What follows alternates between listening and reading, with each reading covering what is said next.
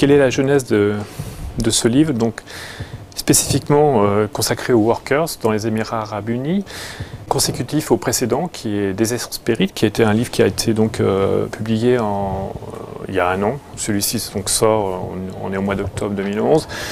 Desert Spirit est sorti en mai 2010 à l'occasion de l'exposition Dreamlands au centre Pompidou, dans laquelle j'ai montré quelques vues des Émirats et particulièrement de Dubaï des vues spectaculaires euh, de l'architecture, donc de l'utopie avérée de, cette ville sortie tout droit des sables il y a à peine une cinquantaine d'années, qui en l'espace de 50 ans est devenue une sorte de modèle de l'hypercapitalisme, de la mondialisation. C'est l'exemple même, le prototype même de l'idéologie de l'argent. Et les workers euh, euh, viennent d'une façon spécifique à travers ce livre publié chez, Bernard Chevaux éditeur parce que, d'une certaine façon, il fallait dissocier de, de Desert Spirit. C'est d'ailleurs une discussion qu'on avait eue, qui, euh, a duré longtemps avec Xavier Barral, puisque au, départ, je voulais faire un corpus général, comme je l'avais fait pour la Corée du Nord, où à la fois on pouvait y montrer des éléments de, l'urbanisme, d'architecture, et effectivement s'intéresser à ce que j'appelle la question humaine.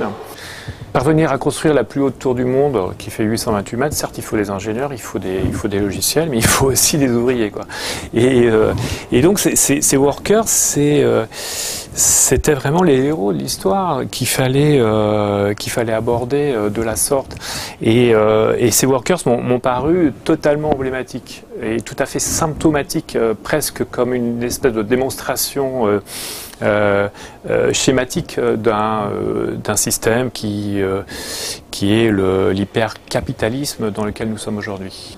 Alors les trois parties du livre sont issues d'une réflexion que nous avons eue avec Damien Saucé, qui est par ailleurs donc le, mon sparring partner.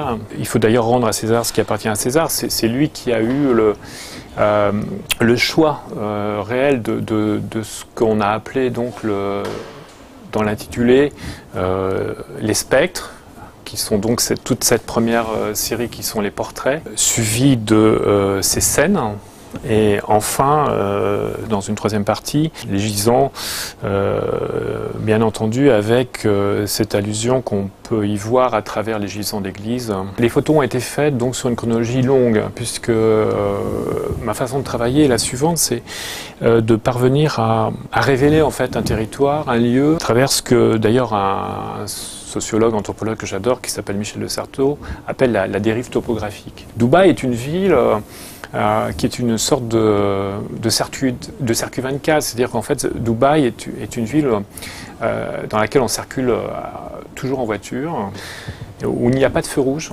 et on est toujours sur des échangeurs, et on pourrait être mis sur orbite hein, dans, ce, dans, cette ville 24 heures sur 24 sans jamais s'arrêter. Donc les workers, j'ai été amené à les rencontrer d'une façon en fait inattendue, parce que comme je l'explique, et comme il est possible de de les lire dans l'entretien, ils sont à la fois très présents et en même temps invisibles. C'est un peu la, ce que j'appelle, ce que je développe, de la violence de l'indifférence. Euh, ils n'ont pas les stigmates de, et on peut le voir. Je veux dire, euh, à travers cette couverture, finalement, c'est, on pourrait euh, euh d'une certaine manière euh, faire un copier-coller sur un magazine de mode. Personne n'en serait choqué. Euh, euh, ils ont un look euh, qui, enfin pour certains, en l'occurrence celui-ci, d'une façon générale, est assez incroyable, quoi. Et c'est la raison pour laquelle j'ai eu le droit à quelques remarques de la part de gens qui s'intéressent à la mode en me disant mais ce genre de ce genre de faciès, ce genre de entre guillemets d'accoutrement pourrait intéresser des stylistes de mode. Oui, pourquoi pas? C'est d'ailleurs d'ailleurs un argument qui a été repris par un des quotidiens euh, nationaux qui s'appelle Le National à Dubaï, pour expliquer que ces workers finalement étaient euh, des personnages très influents pour la mode française et particulièrement la mode parisienne, ce qui est une manière de, en fait, de, de euh, de parler d'eux euh, d'une façon euh, évidemment détournée et sous le coup de la censure. Mais de cette façon-là, le sujet devient abordable. Donc on n'est plus dans la, du tout dans les du haillon, du de la sueur au front et, de la souffrance dans le travail. On est plutôt dans l'ère du Playmobil, c'est-à-dire de l'image 3D, un petit peu d'une certaine façon, où les personnages sont euh, habillés d'une façon euh, correct aux yeux des autres et agissent d'une manière presque dans une certaine allégresse. Alors on explique ça de différentes façons. On explique ça, c'est que euh, l'analyse qu'on peut en faire évidemment est, est, à multiples facettes. Celle que j'arrive à, à, mettre en avant et après réflexion, c'est que euh, finalement ils ont beau être asservis, ils, ils ont néanmoins l'impression d'être euh, maîtres de leur destin. Et, à ce prix, j'allais dire, l'enfer devient supportable.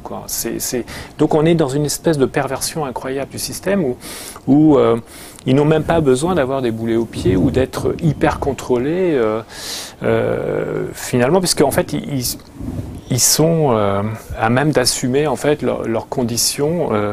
ce sont un peu des victimes qu'on s'entende en fait d'une certaine façon, si on peut dire les choses comme ça. Voilà la part intuitive dans mon travail est essentielle.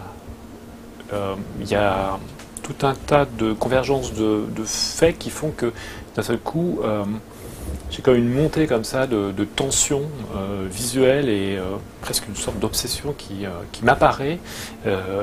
et c'est plus fort que moi, il faut, il faut, que, il faut que je l'assouvisse. Donc, et les, les portraits des workers, ça a commencé comme ça. Euh, j'ai pris conscience de leur présence, j'ai pris conscience de leur valeur d'une certaine façon. Une valeur, évidemment, pour ce qu'ils sont, pour ce qu'ils représentent, comme on vient de l'expliquer, mais aussi par rapport à ce qu'ils étaient, la manière dont ils apparaissaient, en fait, euh, à, mon, œil, à, mon cadre, à mon objectif. Et je voulais que, que ces, euh, d'une certaine façon, ces, workers, ces portraits viennent un petit peu comme les gardiens, hein, un peu euh, du, temple, euh, d'une certaine façon, qu'on rentre directement en matière, et qu'on aille directement sur eux, sans autres intermèdes et sans autres préambules. Prendre conscience, on puisse aborder l'aspect plus explicatif, donc sémantique du livre à travers cet entretien avec Damien Saucé.